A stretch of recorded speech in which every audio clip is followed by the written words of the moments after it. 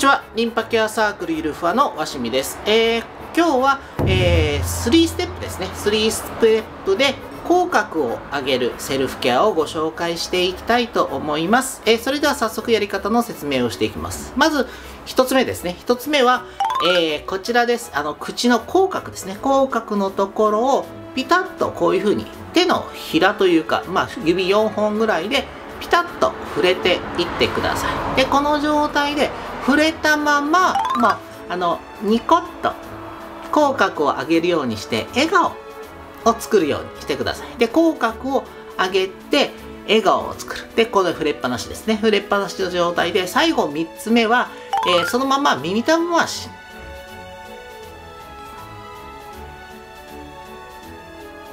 をくるくるくるくると後ろ回しに回していってください。これだけですね。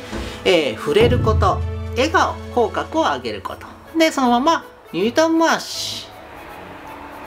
という3ステップで、えー、口角を上げるセルフケアになります。ね、口角を上げることによって、まあ、笑顔ですね。笑顔になる。